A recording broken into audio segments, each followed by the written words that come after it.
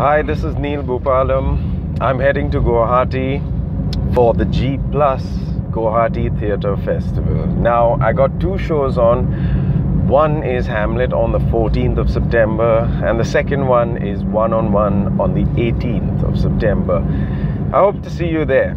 This is going to be fun. Bye bye.